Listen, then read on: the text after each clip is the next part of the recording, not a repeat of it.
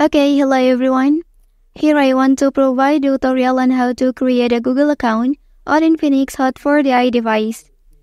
Well, a Google account grants you access to a wide range of Google services and products, including Gmail, Google Drive, Google Calendar, Google Photos, YouTube, and more.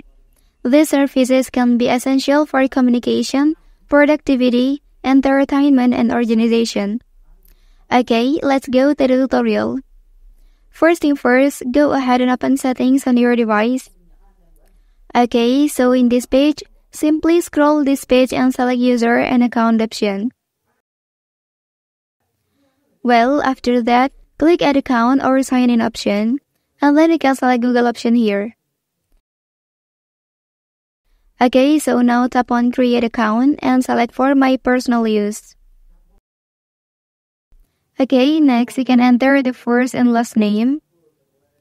And then click next. Okay, so here enter your birth date information.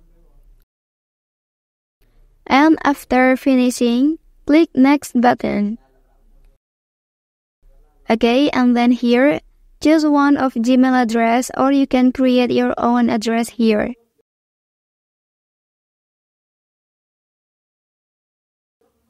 Click next, and then you can enter a strong password. After finishing, and then click next. Well, so in this page, scroll down and then click I agree.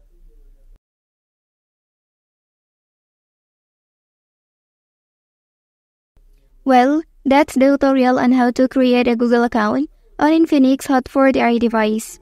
If you are helped by this video, don't forget to like and subscribe to get other information from this channel. Thank you.